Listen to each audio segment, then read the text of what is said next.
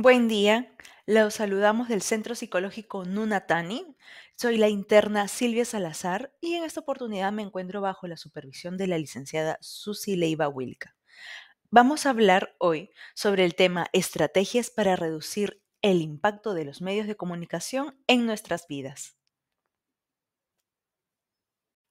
En la actualidad, a los medios de comunicación tradicionales se les han sumado otros canales, como las redes sociales, los podcasts y blog, que siempre están a disposición y han terminado por sumirnos en un auténtico mar de noticias, desde que nos levantamos hasta que nos acostamos, en los distintos dispositivos que podemos usar y en los distintos medios que accedamos. Uno de los primeros estudios realizados sobre la cobertura mediática que se ha realizado de la pandemia COVID-19 reveló que el consumo de los nuevos medios de comunicación generaban síntomas más agudos de depresión, ansiedad y estrés, en comparación con los medios de comunicación tradicionales. También comprobaron que la forma de presentar las noticias cuenta. Aquellas que enfatizaban los aspectos más positivos o mostraban el contenido de manera más neutral nos desestabilizaban menos. Respecto a la búsqueda de información, cuando creemos que existe una amenaza para nuestra vida o estabilidad, nos preocupamos y queremos recopilar la mayor cantidad de datos posibles para comprender mejor lo que está sucediendo y tomar decisiones informadas.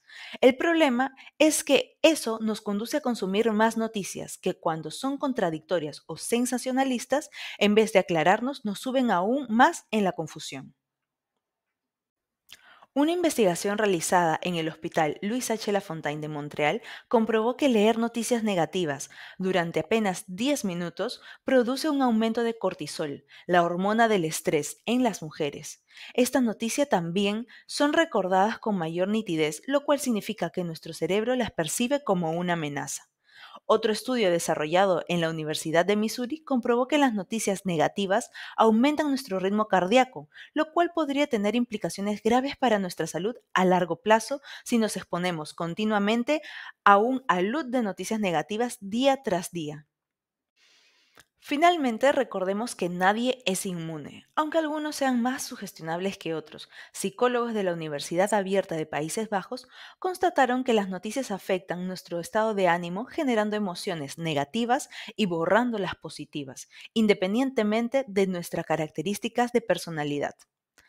Necesitamos asumir una actitud proactiva que quizás signifique reducir el consumo de noticias y o elegir fuentes fiables que realmente nos informen en vez de limitarse a generar, alarmar o añadir detalles morbosos. Nuestra salud mental y física nos lo agradecerá. Con esto damos por finalizado el video de hoy. Espero que la información brindada haya sido de utilidad. Si tienen alguna consulta o duda, lo pueden dejar en los comentarios y lo vamos a estar respondiendo con prontitud.